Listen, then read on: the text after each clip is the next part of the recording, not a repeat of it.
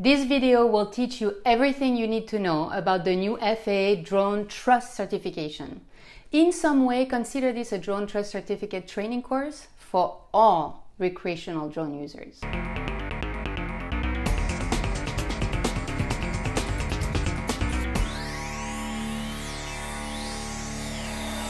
If you've flown a drone for fun in the US anytime in the past few months, you're literally breaking the law. Since June 22, 2021, the FAA released a mandatory knowledge test.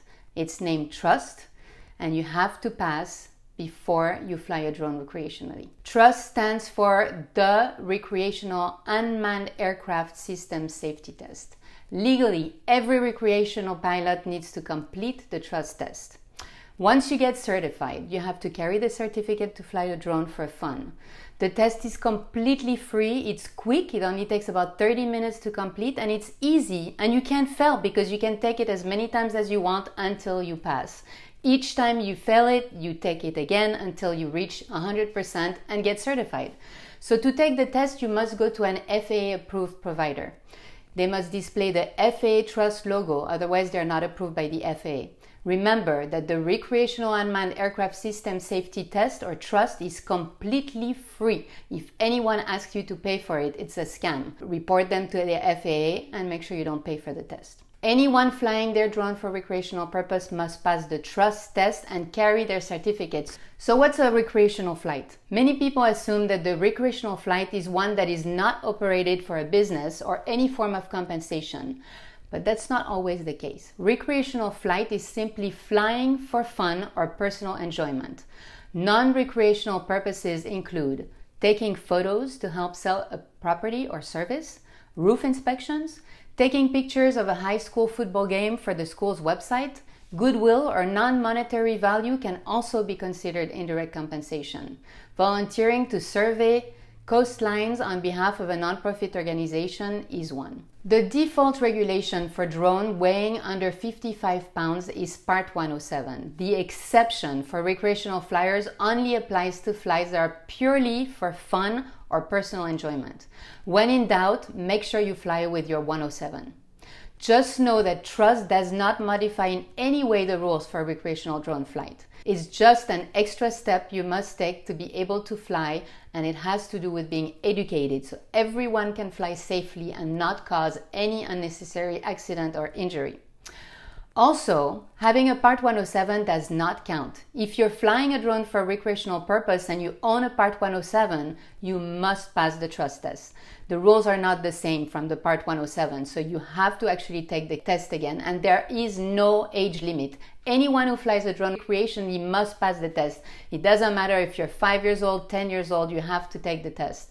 The test was actually created with that in mind. So it's very simple. And honestly, the information on the test is good information that everyone should know before they fly their drone. So the first thing you need to do is register your drone.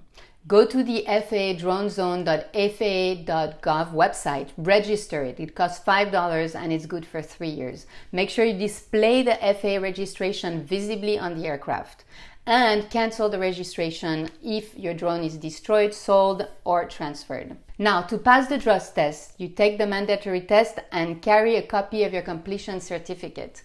If you lose your certificate, you have to pass it again. There are no records of this test, so make sure you keep it on a hard drive, your Dropbox, cloud, image library, drone bag, in as many places as you can the certificate is forever, so make sure you keep a copy for the long term. So now that we know what it is, let's go over the nine rules for recreational flyers under the FAA's USC 44809. The nine rules from the FAA are 1. Fly only for recreational purposes and enjoyment. 2. Follow the safety guidelines of an FAA recognized community based organization. 3 Keep your drone within the visual line of sight or use a visual observer. 4. Give way to and do not interfere with manned aircraft. 5. Fly at or below 400 feet in controlled airspace, that's class B, C, D, and E, only with prior authorization by using the LAANC or drone zone. 6. Fly at or below 400 feet in class G uncontrolled airspace. Flying drones in certain airspace is not allowed. Classes of airspace and flying restrictions can be found on the Before You Fly app or the UAS facility maps. 7. Take the recreational UAS safety test, the TRUST, and carry proof of the test passage. 8. Have a current registration. Mark your drone on the outside with the registration number and carry proof of the registration with you. 9. Do not operate your drone in a dangerous manner. For example, do not interfere with emergency response or law enforcement activities. Do not fly under the influence of drugs or alcohol. Individuals violating any of these rules and or operating in a dangerous manner may be subject to FAA enforcement action. So these are the nine rules from the FAA. And if you think about it, it makes sense. It's the basic needs for all of us to be safe while everyone is starting to fly their drones in the sky and we want to make sure there are no unnecessary accidents. So who can request to see the certificate? Well, the FAA and law enforcement. And just know rule number one from part 107, which is in any flight emergency, rule number one is to maintain control of your aircraft. This is all you need to know about the FAA Trust certification. So good luck with your test. I hope you learned a few things in this video tutorial.